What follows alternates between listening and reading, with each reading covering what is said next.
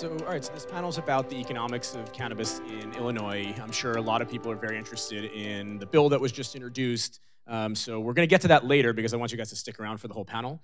Um, so let's start with the current program. Uh, we've got a medical marijuana program here. It's still a pilot program, technically. Um, been fairly slow to develop compared to some other states. Uh, can can uh, panelists talk a little bit about what this program has looked like to date? Yeah, so um, just to kind of give a snapshot of the numbers, we're at about 62,000 patients right now. Um, and that has gone up even in the past two or three months since February when the state rolled out their new opioid pilot program, which allows anyone that is prescribed an opioid to access medical cannabis. Um, the other big things that they did back in February were that they um, eliminated the background check and fingerprint requirements for patients, which made things a lot easier and quicker for patients to get their medical cards. And they've also started granting provisional cards, which if you apply, you can get your card immediately and download it sort of like you would a plane ticket on your phone and get into a dispensary that way instead of waiting what was taking up to three months um, for the state to process your application. So, you know, all over the state, the numbers are up as far as um, foot traffic into the dispensaries. Um, and I think we'll see that. The May numbers haven't been released yet. They usually release them at the beginning of the month. So I think we'll see that go going up, you know, kind of exponentially. You know, the market uh, in Illinois for the medical side has made great strides. Um, it started out, I think, with a very rough rollout and some uncertainty as we were changing governors right at that particular point in time. I don't think it's any shock or secret to say that our uh, prior governor was no fan of this industry and uh, probably, uh, well, not probably, did a very good job of standing in the way of really giving the program a chance to grow, I think in the way that most people anticipated that it would grow. Uh, and the hope is, is that now that Governor Pritzker is in charge, that he's going to kind of take the shackles off of that a little bit and really let the medical program go where it needs to go. But uh, we should all bear in mind that under the current law, uh, the program has just about a year left, July of 2020, if the Illinois State Legislature doesn't expand and make the medical program or make it permanent, and that shouldn't be lost in all the shuffle and excitement uh, about adult use. And I, I think one of the positive things that's come out of being in what I think we would all agree was the most restrictive marketplace in the United States when the program first rolled out. I think the the initial conditions were like nine. You know, Jer- Jersey may have been a little Maybe, right. restrictive. Uh, But what if you look at the, the landscape of the companies that have come out of Illinois, um, there's arguably four or five of the top 10 uh, MSOs that have come out of Illinois. You've got the GTIs, you've got the Crescos. And I think by being in a highly regulated uh, and restrictive environment, it forced some really significant capital to come into the space and best practices to come out of the space. And Illinois has actually become a leader in the international marketplace as a result of, of that early, you know, kind of restraints that were put on us. Yeah, no, it's fascinating. I mean, you have uh, really probably four or five of the, I would say, top 12 MSOs in the country that are headquartered here in Chicago um, that came out of this market, which is interesting given that it's, it's by and large been a pretty crappy market, um, right? I mean, this is not, it's on the face of it where you would think investors would be pouring lots of money right into the Illinois market when you've got a pilot program, you've got a really restrictive list of qualifying conditions. Um, I mean, everybody knew from day one this was not going to be the best sort of commercial market, and yet you do have some of these largest players in the country that came out of here. So, I mean, David, you, you mentioned some of those reasons. I'd be curious to hear a little more from the panel. Why has Illinois and Chicago in particular become such a hotbed for national companies, given the, I mean, the relative weaknesses of the of the program? I mean, I'll comment on that. The, um, I can't underscore David. Mike. I cannot underscore David's point enough that um, we happen to be one of the most restrictive, most difficult states to open up in. The capital, uh, I was involved in looking at, the, at these companies as they rolled out.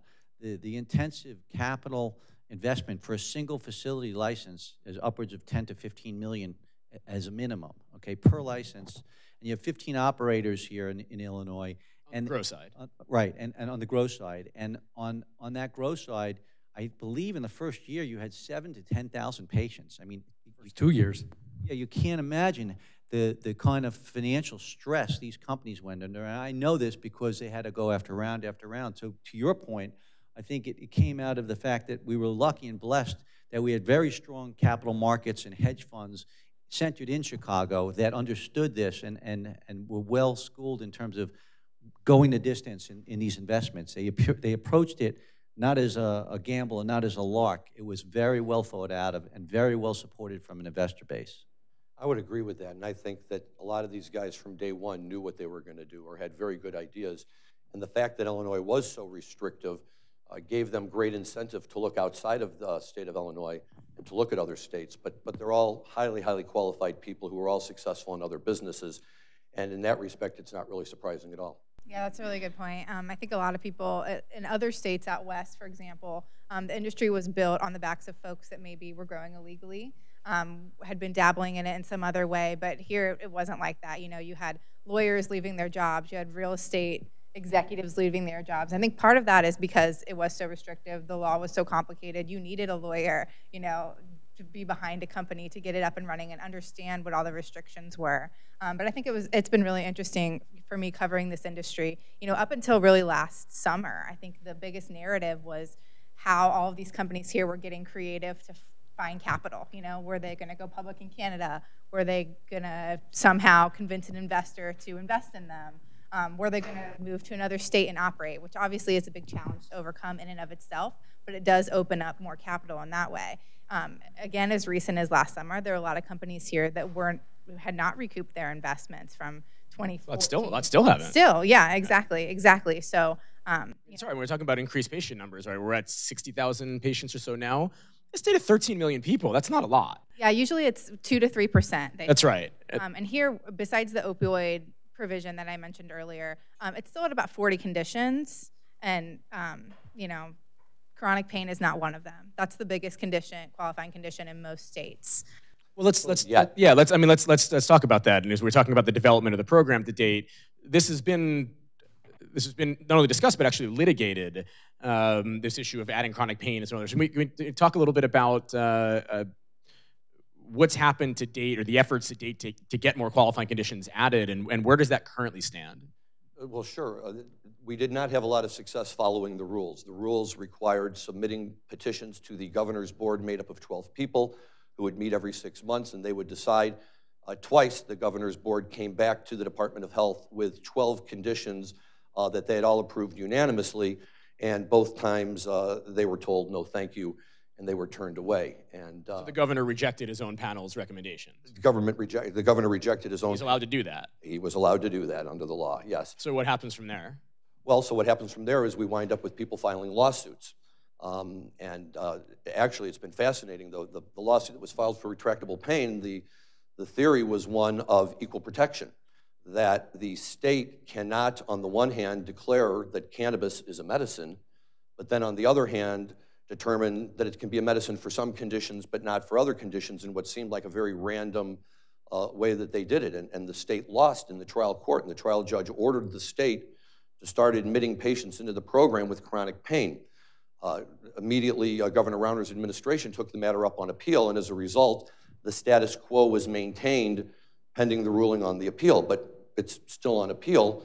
Uh, Governor Pritzker could uh, direct uh, Kwame Raoul, the state attorney general, tomorrow to go in and withdraw the state's objection, and that would, in effect, immediately add chronic pain to the list of uh, uh, conditions that would allow you in. be clear, I don't, it's not chronic pain, is it? It's, it's post-surgical intractable pain. which Intractable is pain, slightly different. Yes, It's still wide open, but not quite as wide open as chronic pain. you're right.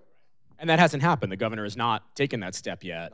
Um, and there's a lot of people questioning why. I mean, the governor campaigned on expanding the medical program and on legal and on legalizing. The easiest thing, the easiest thing that the governor could do to expand the medical program is say drop this appeal, and all of a sudden you've got intractable pain and a number of other conditions that would qualify. Why, why, why do folks think that hasn't happened yet?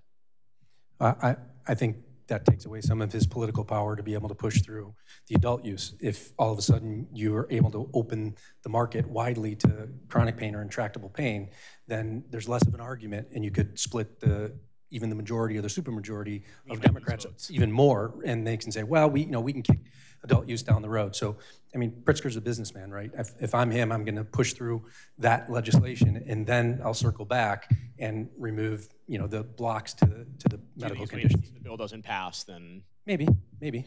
Yeah, I think we should also say too that there is a bill that's been introduced that would make the medical program permanent because right now I think you said that. Bob Morgan's bill. yeah, it's still a pilot program in Illinois. Yeah, it expires next summer.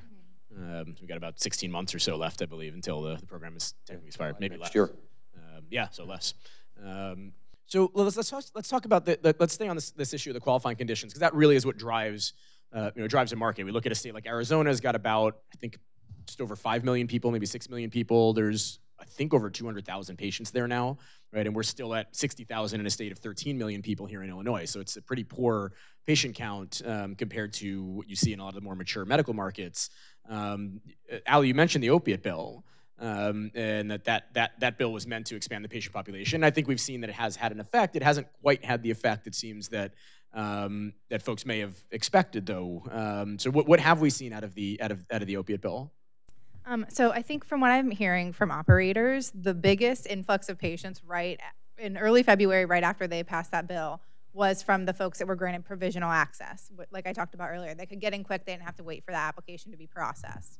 Um, we've been seeing a uh, the opioid has been making a difference. They're reporting numbers on that separately from the medical cannabis program because it's seen as you know two different things. And um, in April, there were about a thousand patients enrolled in that. Um, so pretty low numbers, I think, for now. Um, everyone's expect all the operators are expecting that to really pick up.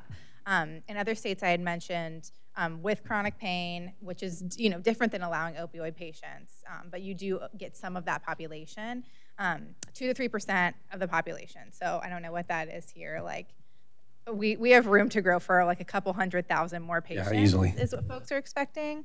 Um, yeah, easily. And, and growers and operators are ready for that. But they're preparing for that. Um, you know, we can get into this later too once we talk, talk about the new legislation that was introduced over the weekend. But um, operators here are ready. They're they're getting ready for uh, recreational too. But they say that they can also handle a steadily increasing patient count because you know, as the program grows and as rec if recreational comes online, like it's expected to, um, the medical program will also grow as well, just because more people are aware of it. There's still people in Illinois that don't even know we have a medical program. So education is a big part of um, what's keeping that growth at bay right now.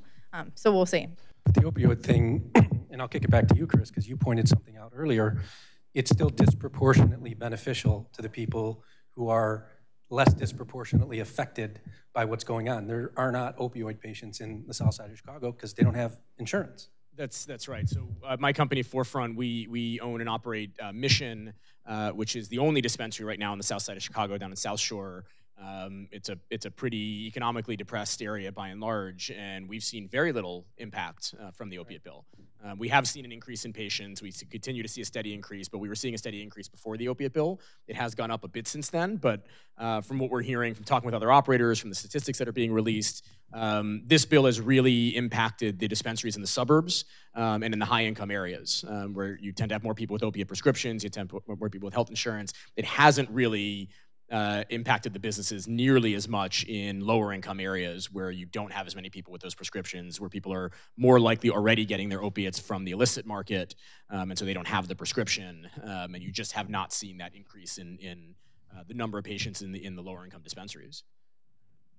So, all right, well, let's let's let's start moving to what's coming here. The legalization bill has been introduced. There's a lot of exuberance around um, around it, and, and, a lot of media in the last few days around this thing and whether it's going to pass. So, um, Ally, you've been covering this for a while. Do you want to sort of kick us off here and, and give us some of the high level highlights of uh, of what's what's currently in the bill? Yeah, for sure. So, from a consumer standpoint, the bill would allow um, each person to possess uh, 30 grams um, of cannabis, and that's per household. And also, you can grow five plants in a locked room, you know, that's Not not visible- accessible to not public or visible from the outside. From the outside, yes. Um, you know, from the business. They're literally legalizing closet growers. Yeah, basically. Yeah. um, I think it'll be interesting to see if more clarity comes out around that because I feel like there's some natural light that might be needed in there. Yeah, yeah, it'd be nice if you Oh, we could saw some into your grow lights. Right. I think Right. about my little plants at home, and they would not do well in a closet. Um, not, not cannabis plants, regular plants. um, Wink, wink. right. But um, so uh, on the business side, there's a huge social equity aspect of it. Um, right now, the diversity numbers in, as far as operators go in the industry are not great. Um, part of that is because there was such a high barrier to entry, um, such high application fees, um, licensing fees, that type of thing um, with the medical program. So there's a huge portion that addresses that. They're looking at um, bringing in some money from the medical program and then, um, you know, the recreational program to back loans and, um, you know, financially subsidize some of these folks that want to get into the industry. Um, they're looking at letting the medical operators now, the growers, become growers and keep those licenses just at those numbers for the first year. Um, and there's a, the bill is over 500 pages long, so there's a lot more to it than that, but hopefully that's a good overview. Yeah, no, that's great. Um, anything anyone else wants to add? Any provisions that we didn't uh, we didn't hit on yet? Well, I, I think the, uh, the 800,000 um, uh, previous um, convictions uh, is a big deal, um, very big deal. I think you were talking about that in terms of Larry, what that means for the economies, the local economies, especially in the areas we are on the south side where it's economically depressed. These people can't get jobs. I mean, this is a real stigma for a lot of people. That's a, that's a huge portion of population, 800,000. So 100,000 is a lot of people. I mean, it's a state of 13 million people. That's like Right, one it's seven, eight percent of the 15%. population. Yeah, Yeah. It's, a, it's a big percent of that. And then when you're saying 800,000 people, we're talking about record expungement here, right? And so, can we talk through the mechanics of what that would look like? What what expungement itself would look like? Um, is it something where folks are going to have to apply to the state to get their records expunged, or is the onus on the state to go and find anybody with a cannabis? Actually, the way it's written is the police departments are going to be responsible for identifying people in their communities. And then they'll run the program to get the expungements through, I'm sure they'll come up with a committee or whatever it is. Um, That should be pretty interesting. I imagine that's not going to be popular amongst a lot of law enforcement agencies. I can't see it being very Well, popular. I don't think it's going to be popular among a lot of the people in the communities either. Right. They have to go back to the people that put them in the system in the first place to get out of the system. I think there's a lot of details that are going to still have to be worked out about this Oh, no doubt. I mean, look, it, but, and as, as an old school activist and advocate on this, I mean, I, the onus, in my mind, the onus should absolutely be on the state. Sure. Right? I mean, if you have a conviction, the state put you through the ringer on that, the onus should be on them to find They have all the records, and- too. Yeah, and yeah, exactly. They have the records. It should not be on the individual to have to go and seek out the state and, and get the record I think it's unclear. I think it's the police departments are responsible for identifying the people in their community. I don't believe that the people in the community have to go to the police stations to get it. It's still a little unclear. Well, it may not be unclear. I haven't read all 500 pages, so. And, and in most and in most states, the way they've dealt with this is that the onus is on the individual with the record um, to then apply to the state to have the record expunged, which most people are not going to do, Right. Uh, because they don't they don't know how, they don't understand, they don't know that the law is in place. There's a fee generally associated with doing that, um, and like you said, there, a lot a lot of people are going to want to walk into the police station that put them in jail in the first place and say, hey, get rid of my record. Um, right, particularly in communities that have been disproportionately targeted by law enforcement for marijuana crimes, uh, or mar- well, will no longer be crimes, right? Level drug offenses, yeah. I think there's two really interesting things about the social equity program, though. One is um, expunging 800,000 felony convictions extends way beyond the cannabis industry. These are people who can't get jobs because they have a felony conviction, not people who can't get jobs in the cannabis industry. Right, they can't get jobs because So the, the. That's you know, th- the, uh, the reach of that is, is significant, way beyond cannabis. The second thing is, if you look at what's going on in the legislature right now and the people that are speaking out against the bill, Madigan primarily, the biggest pushback is coming from the leniency around the record expungement and the social equity program. And so there's going to be some infighting in between the moderate Democrats and the liberals that control two-thirds majority of both houses around this social equity component. And it's going to be really interesting to see how that plays out. It's not going to be a very popular, you know, piece of legislation to be on the wrong side of.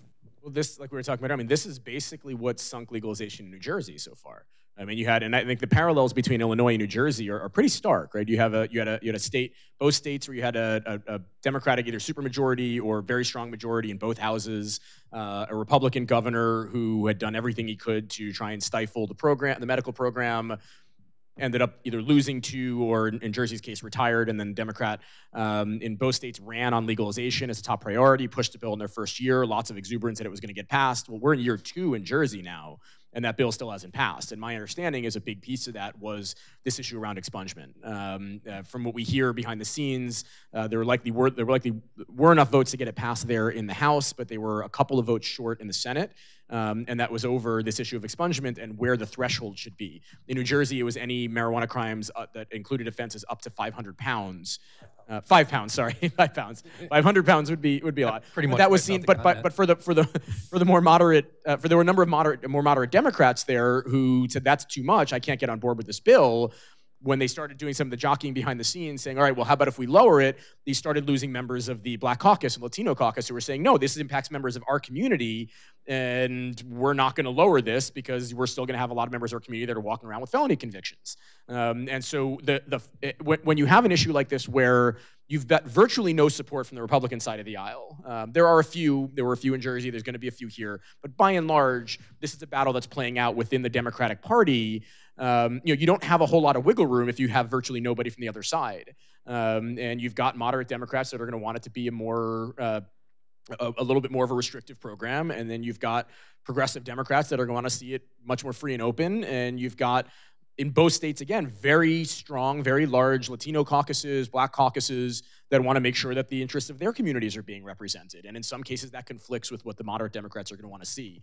Um, so uh, I want to come back to the social equity question here in a minute, but I think this is probably a good time to, to, to, to, to sort of ask for predictions. Like, what are folks' thoughts here on how likely this thing is, is actually to get past this, this session?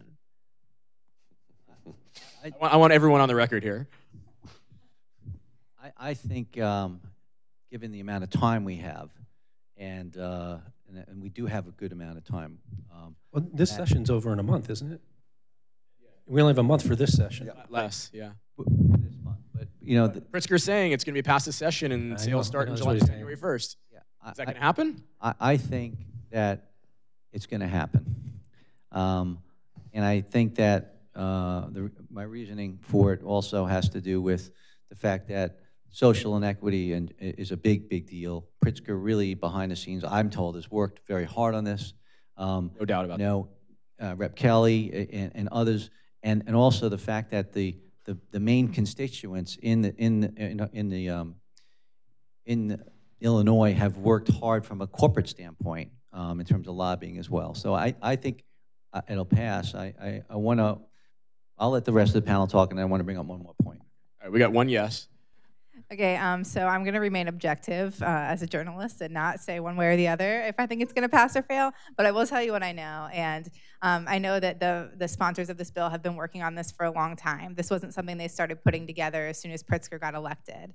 Um, they've been working in the space on the medical side for years, um, and for the social equity part of it, that seems to be drawing some ire from some folks now, um, nitpicking, you know, what's wrong with it, what can we do better. Um, the sponsors, again, worked with folks, um, minority groups, um, the Illinois Black Caucus. A lot of different folks came to the table to put this bill together. I'd imagine that's why it's over 500 pages long. Um, so I think that, you know, I think that's also part of why they waited so long to introduce it in this session. We only have a few more weeks to get it passed. Um, I think it's partially because they hadn't reached a decision on stuff. I was reporting out a, a diversity story um, a few weeks ago, and at that point they hadn't nailed down the social equity part of it. So I think this is something that they um, had a lot of people weigh in on, and they thought, you know, how are we going to get this passed, and how do we need to write this language to get it passed um, before they put it in there.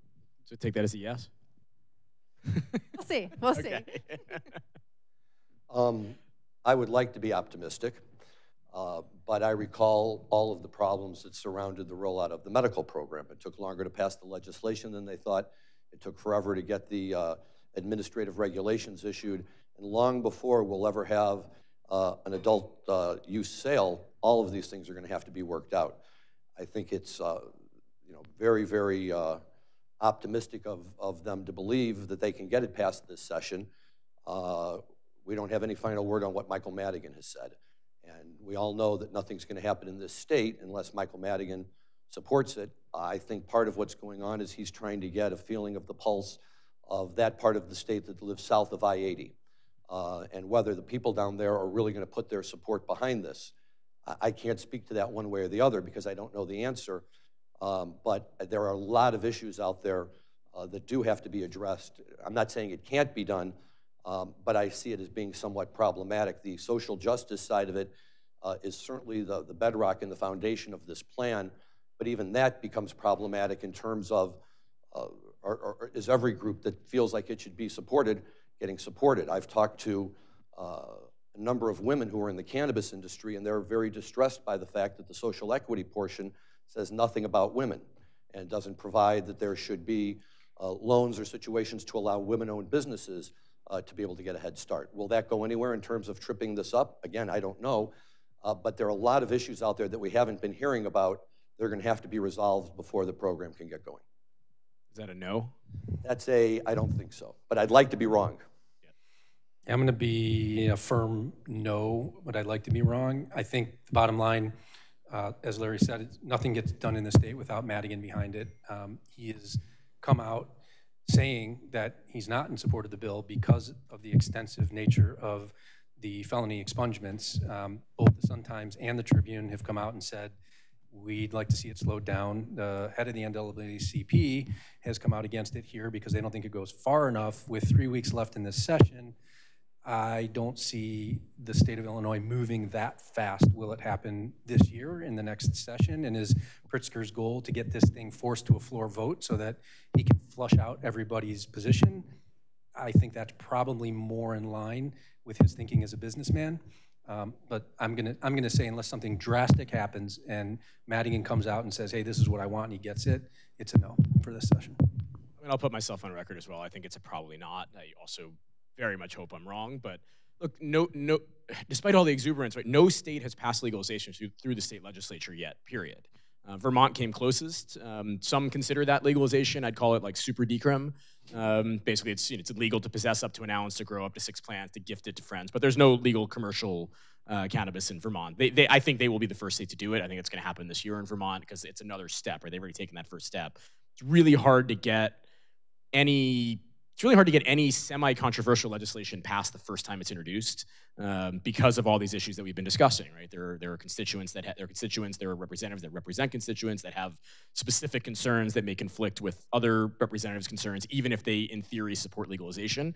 Very hard to get a majority to yes on the first go round. It's the reason why it hasn't happened yet anywhere, despite the fact that nine states in DC have now voted for it. We've, we've, we've adequately demonstrated that the public is in support of legalization, but the legislatures haven't quite figured out how they can get consensus amongst the legislators to get it passed. So I think it's a real uphill battle um, to get this done this year. Um, but And this is Illinois, it's a very much of a what's in it for me. So every one of these voting congressmen and voting senators still has the opportunity to pass the hat around and decide what it is that they want out of this, and I don't think there's enough time left for that to happen. Now, now to be fair though, they did get some of that already, right? I mean, part of what Pritz, part of what Governor Pritzker did, and part of the reason why they waited so long to introduce this bill was that the, they wanted to get the budget passed first, and the budget has money allocated for pet projects all around the state that that is tied directly to cannabis revenue. So if those members don't then vote for cannabis legalization, they don't get the money for their pet for their pet projects in their districts. Um, does that make anybody a little more optimistic, or it doesn't make me? But uh, trying, trying, to, trying, to, trying to trying to come around on the rosy side of this here. I think it's certainly a, a benefit towards um, getting a yes vote, but I just don't think it's enough yet. I think that there's more than just, you know, $120 million of allocation of tax resources and other things that these legislature, legislators are going to want baked into this bill. It's going to get, it's an important bill. It's going to get stuffed with all kinds of things before it's passed, in my opinion. Well, the other thing is that he's making all of these predictions about how much revenue he's going to generate off the program, and the program hasn't started yet. And I think that that was a problem when the medical program rolled out too, that I saw investors who would come in and say, well, we're going to make this much this year and this much the next year, and the program hadn't even gotten off its feet yet. So it's optimistic for, for Pritzker to kind of guess how much money he's going to get out of this program. Uh, But, you know, given, given the slowness with everything else, I, I think it's overly optimistic to suggest he's going to be getting that much money initially. I do think that most of the, I could be wrong about this, so correct me if any of you guys know, but I think some of the budget set asides that he had were from the licensing fees.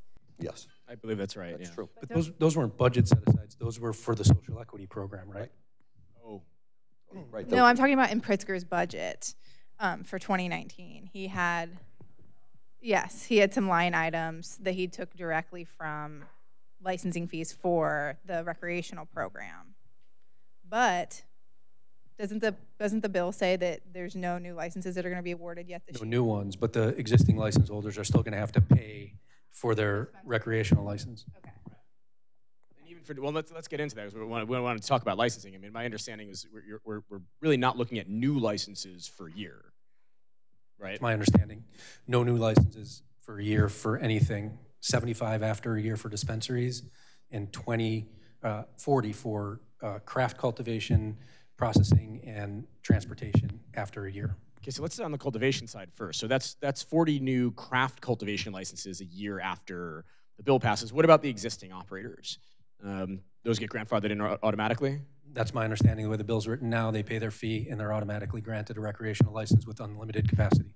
Mostly, yeah. There's There's, yeah, devil's in the details, but yeah, there's always some, generally speaking, they, there's some qualifications. essentially the You idea guys is read all 500 pages of the bill. essentially lawyers. Flip, flip, yes, flip flip the switch for the existing license holders. Wait a year, then grant some more licenses. Um, which look, there there's there's there's a really there, there actually is a good public policy rationale, and I say this full you know full disclosure. Everybody, I, I am we, are one of the existing license holders, both in cultivation and retail. I try not to speak out of self interest here. Um, I've actually argued with my colleagues in a number of states uh, on, on on whether or not we should add more licensees. I tend to fall on the side of I think we should, um, and we'll get into that in a moment. Um, but there is a policy rationale for giving a head start to the existing operators. Right, number one, they did take these massive risks at a time when the commercial when, when the program was non-commercial and bled money for many years, and so give them a little bit of a head start to recoup some of that. But the biggest one is that they have the infrastructure in place. Right, there's they're already growing cannabis, and if you want the program to get up and running, and you want to provide cannabis to the public uh, as quickly as possible, right? Let the folks who are already doing it flip the switch and start growing for adult use as well. Um, they can get to market faster. Even if you start issuing new licenses right away, there's still an administrative process. There's still an application process. Um, then they have to they have to go through zoning and permitting, and you have to actually build out. And you know, plants take four months to grow. So even once you get plants in the ground, it's realistically, it's best case scenario, it's a year after licensing starts before anybody else is even really online. So the initial folks are going to have an advantage no matter what. And again, there's a public policy rationale for that. My question though is is there going to be enough supply to meet demand in this market given how few new licenses we're talking about issuing? I think that uh, with respect to demand, I, initially, I'm not particularly concerned about that because most of the growers are not growing on anywhere close to the full square footage that they currently have. Because as was accurately pointed out earlier, there just weren't enough patients to justify, to justify that. Um, and it's going to take a while for new uh, cultivation centers to get up to speed anyway, so we'll find out relatively quickly whether the current cultivators can do it. The, the thing that we were all talking about that I'm a little surprised is uh, not immediately adding more dispensaries because some of the dispensaries that currently exist, uh, certainly on the North Shore, you know, from time to time find themselves running out of product, uh, you know, over uh, over marketed by people who are choosing those particular dispensaries. And I'm not sure that we can get by on 50 or 55 dispensaries for the entire state if we're going to have adult use. You have 55 retail outlets for a state of 13 million people. Um, and even they, you know, even they're going to grant 75 more a year later, right? Again, those Still are going not to be, enough. it- it's going to be at least a year before those stores start getting open. Right. Um, and and if pre- if passes precedent for other states, it'll probably be longer. But I do think they have to protect against a rush of inexperienced operators flooding the market with product that is, you know, has all kinds of problems. They don't have the resources allocated. They don't have the revenues to be able to police all of this. Um, and so I think there's some concern around if we let too many people in too quickly, how, how are we going to manage the market as well? definitely some concern around that. I've heard from growers. Um, the other thing to point out is that most, many of these big multi-state growers that are based here and have operations here have been expanding their grow facilities, readying for this since last summer. Um, you know, some of that was to prepare for the growing medical program, like we talked about earlier. But um, if you think about these facilities, most of them in Illinois, um, I'm not sure if, if any of you have ever visited one, but um, they're these big unmarked facilities that just look like warehouses in the middle of nowhere, right? Um, but many of them, when they started out, they did build outs and had phases. And for many of them, you know, they only had a few of their, their growing rooms open. And they've been expanding over the past year to add more grow rooms, build out the whole building that they had. But then the other thing to consider is that they can build more buildings. You know, there's a lot of room to grow. If you have a question? 100,000. Thousand, yeah. Okay, yes, good point. But um, some of them weren't at that. They didn't have that full square footage close. built Right. Virtually none of them are that. Are that I don't think Right. any of them are, getting, yeah. getting close. They're getting close, yeah. Right, yes. But even but even then, but let's talk, but let's but let's stay on this, right? So let's let's say for, so you got fif- basically 15 cultivators now, um, and a few of them have have multiple licenses. So really, ni- you know, 19 essentially that have licenses. So you're talking about 190,000 square feet total canopy space, uh, 190,000 square feet. Will that serve a market of 13 million people plus however many tourists come to Chicago every year? Is that enough? So that's 1.9 million square feet if they're fully built out, 100,000 per. 100,000 per, right, right. So it's it's 100,000, yeah, 1.9 million square feet. Correct. It's still, I don't think, is Still, enough to is that enough? To, is that enough to supply the market? Kris, I'd like to throw that back at you as a commercial grower. What do you think? Well, we- I don't think it is. That's why I asked the question. I don't Well, think we it have, is. We've seen a couple studies come out on this. Um, the there have been there's a study sponsored by the industry. There was a study sponsored by the sponsors of the bill. Um, one of the studies found that um, for at least the first few years, the current growers could supply. Um, that's sort of that's because it takes a few years for a market to reach full maturity. I think it took Colorado four or five years. They say. Um, I mean, I guess that's where we're at, sort of right now with with uh, legalization in Colorado, um, four or five years in, and I think maybe if it's reached maturity now, maturity being full demand. Um, we hear a lot of stories about uh, dispensaries selling out the first day that sales start. Um, but also something to consider is that the first day, the first week sales start, there's going to be more sales, and there would be, you know, even two months into the program, just because there's a rush, you know, when a new store opens, when a new product is available. Um, so, but these, you know, these, it, this, the study that um, the sponsors of the bill put out there was done by a firm in Colorado, and they did make a lot of comparisons to the Colorado market. And Illinois is very different. Um, you know, we have a larger population. Um, you know, just, it's dispersed differently. There's a lot of things to consider here. Um, I, I think. and you're not going to have 1.9 million square feet. Right? Right. Not everybody's, not all of those growers to are going max to be out in the first 100,000 square feet, right? And some of the building, I mean, look, our, our building maxes out at 94,000 square feet, and that's not all canopy space, um, right? That's your, that's your. That's your total space, footprint. your- yeah. Yeah, that's the total footprint, and that and so that includes the processing areas and, and drying and hallways and everything else. Um, so uh, processing. Yeah, all, all of it, it all has to fit within that within within the, the, the physical building that we have. Um, I mean, are, so are we looking at a like a, a major supply problem in Illinois if this bill passes as it currently stands? I think that the the biggest concern would be, and I could be wrong about this again, um, would be the dispensary side of things. Because that number seems way off to me from all the studies that I've seen to only have Short term, yeah. 55. Um, And then what, 75 in a, a year later, which will take time for them to come online as well. We saw that in Massachusetts when they first rolled out adult use. They only had, I think, initially three dispensaries. and- Two- And two to none of them start, were yeah. located in major metropolitan areas. The either. first one in Boston just opened about a month ago. in Right. Boston metro area in Brookline. And, and so, right, but, you know, prior to that, you had people like, you know, getting up at three in the morning to drive to these locations to get there before they ran out of product. I think that it's, it's, it's a natural part of it. and they all have they all have limits in Massachusetts uh, products. So if you go in as a, if you go in as an adult use consumer to, to buy cannabis at one of the legal dispensaries in in Mass, at this point, still virtually every one of them will have a limit on how much you can purchase. That's well below what the state limits are, because I think it's the only way they can keep product in in, in house. And I think with dispensaries too, um, if you look at the map now from where the 55 dispensaries are located, the map of Illinois, there are some big holes. Um, part of that is because there were, I believe, a handful of licenses that were never awarded or were awarded and the dispensaries never opened. Um, you know, Mission is the only one, you know, sort of on the south part of the city. So there are some holes there, even considering the population. Obviously, in rural Illinois, there's a population disparity there. Um, but there are some holes, so that would be something else. But I think, I think, you know, er- erring on the side of caution, uh, and Larry, you're the, the most legally uh, trained here. If the program is going well and there's huge demand, can't they amend this program at some point? Always. They can always amend So- anything. No, I But it takes, but that takes time, right? You got to issue more licenses. They got to build out, right? I mean, it, you got to recognize it's it's from licensure to opening. It's best case it's a year. I- what what I, what I, what I think we got right here in Illinois, and I can't underscore this enough, as I look at this room and I see maybe a couple of people of color here, is that we got the disenfranchised right, and, and that's a big deal here to me. In the bill, you mean? Yeah. If it not in the passes the medical way that it is. No, not in the medical program, but in the bill, if that passes. You know, we were talking about the odds of the bill passing, right?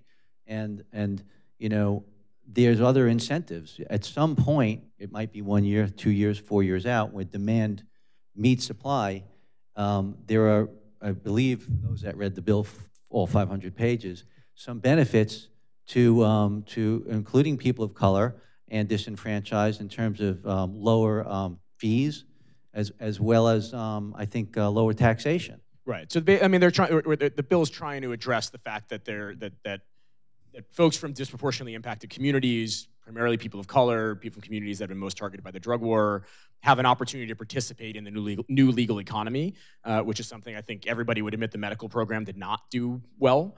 Um, there's very few people of color, very few women represented amongst ownership in the current medical industry in Illinois, um, and there's a recognition that we need to create avenues avenues to entry into the industry. You know, particularly uh, particularly when we're talking about a a, a, a a- drug war, marijuana prohibition that's been essentially fought on the backs of young people of color. Um, right, that there that there needs to be an avenue for, for for these folks to participate. I will say I'm skeptical uh, that the provisions in the bill will will really achieve this goal. Um, I agree. now, I, I think I, I, it's it's laudable the way that they've done this, but they, and and frankly, I'm not sure that there is a way that they could write it that would achieve the goal. Um, Well, look, I mean, a 5,000 square foot facility, we're talking about craft grows. Five thousand. Right. Yeah. How can a five thousand square foot craft grower compete with a hundred thousand? exactly. And how much of a craft grower market is there going to be? I mean, we have a lot of craft breweries in Chicago, so, you know, There, there will be a craft grower market, but the problem is most of the craft growers are not going to grow craft quality cannabis. correct. Right? Just because you have a small years. grow doesn't mean you're a great grower. Um, and so, yes, the smaller growers that grow the best quality product, there will absolutely be a market for that product. But if they're growing mediocre quality product, they cannot compete on price with somebody who's growing in a 100,000 square foot facility. And so th- that's, that, that will make things very difficult. My concern, though, is it's expensive to get these businesses up and running. Even a 5,000 square foot craft grow is probably going to cost close to a million dollars to get operational, right? A dispensary is still going to cost you, best case scenario, half a million dollars to get operational. Where does that money come from?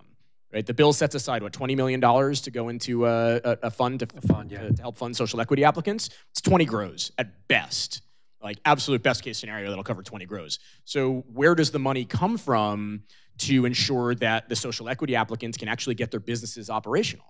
Right, and that's why you have the same that they had in Oakland, where you've got larger companies and business and affluent investors um, trying to find, you know, minorities and equity uh, participants to front for them. And then you have to start to police that, and in the application process, that becomes very difficult, and you run into Very into difficult. problems. Yeah, Well, there were bonus points, as I recall, in the medical applications for, uh, there were bonus points. Right. Yeah, it didn't do it didn't No, do a whole lot. Right, it didn't do a whole lot, and, and, you know, and I don't like to use the term social engineering, but I mean, part of what they're trying to do here is create a solution. I admire what they're trying to do, and I think it's the right way, but in theory, but whether or not it can actually play out specifically uh, and create the type of opportunities that they want, I, you know, we'll have to see. So um, this is just speaking from my reporting. This isn't an opinion or anything. Um, but so many other states have started thinking about the social equity point um, when they came online with their medical programs. Many states east of here, Ohio, for example, um, New York, I believe, a lot of them built into their application programs social equity points. You know, they awarded points for you know certain things. They required companies applying to um, tell them how they would make sure their workforce was diverse and lay out that business plan from the get-go. Um, you know, Ohio, I believe, awarded a certain number of license to companies with diversity ownership, that sort of thing. Um, Pennsylvania did a lot too. Pennsylvania, exactly. Um, speaking with the lawmakers here when they were crafting this bill, they were saying, you know, other states have tried, but no one's gotten it right yet, and we want to be that state to get it right.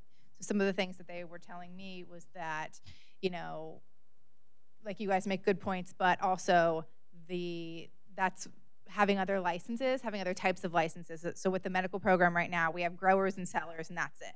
So with the recreational program, there would be delivery licenses, Transportation and processing. transportation, processing licenses. Um, so that offer, offers um, you know more avenues of entry into the industry.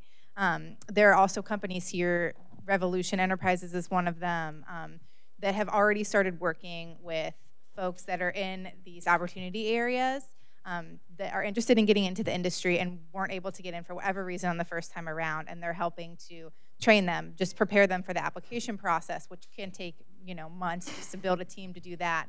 Um, train them on growing practices and that sort of thing, just to sort of help lower the barrier of entry. Um, so there's a, a lot of industry operators that have already been thinking about this too, but you know, again, take that with a grain of salt because these are the big guys. Um, and how would a new entrant ever be able to compete with a multi-state operator at this point? So Well, so what we're, I mean, I think what we're starting to see, and this, you know, this becomes a very delicate balancing act, um, is this this sort of partnership between MSOs and social equity license holders, and we're starting to see this around the country. And I mean, I've made the case. Shameless plug alert, right? I wrote a, I wrote a, a, a column for Forbes last year about how the lack of access to banking is particularly harming mom and pop business, uh, mom and pop owners and social equity applicants, right? Because if you are if, if you're a license holder of say, you know, one of looking after they grant 75 licenses, we're looking at what, around 130 retail licenses in a state of 13 million people. Right? If you had one of those licenses and this was not federally illegal, any bank in the state, any bank in the country would give you a you know a small business loan or a loan to get your get your business up and running. Right? Access to capital would not be that challenging to someone in, in a market that's so li- that where the licenses are so limited. But in the absence of that, where do you go for money?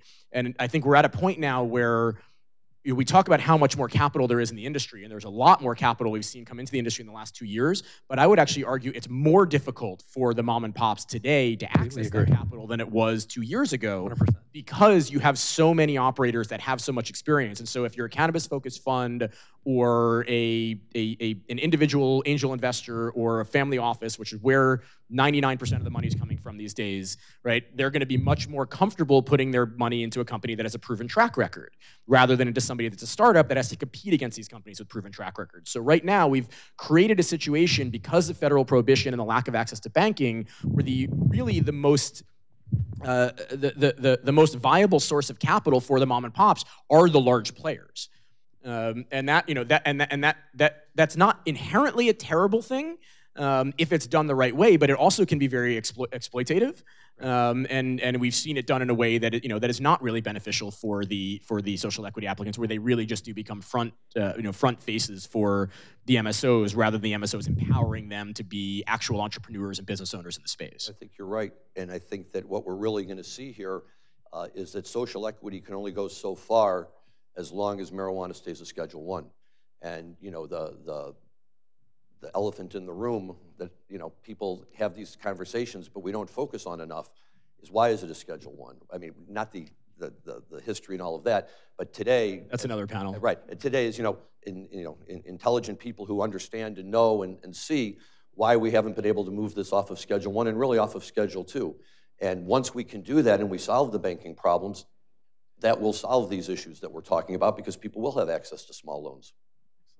So I think, and Ally, if you have one more, one more point to make, then we're going to open up for would- Yeah, questions. sorry, I was just gonna say that, um, you know, there's also the, um, folks here in Illinois that support, um, opening up the banking system, but again, there are a lot of small community banks here that, a few that work with the industry now, um, but also many of them won't touch it until it's federally not a Schedule One anymore. You have money laundering problems for these banks and the bankers, looks like unless they pass money. the SAFE Act, which is currently uh, before Congress uh, on the federal level, which would uh, remove a lot of these restrictions in states that have programs. But in the absence of that, any banker who, who does the business, the individual banker potentially faces criminal penalties. So, you know, banks are very disincentivized right now to do this. But again, if we take this off of Schedule One and Schedule Two, that problem goes away. My daughter thinks that we're an episode of Ozark. Spend all of our time trying to move money through the banking system. So now that the, the series has ended, they call me once a week to get an update.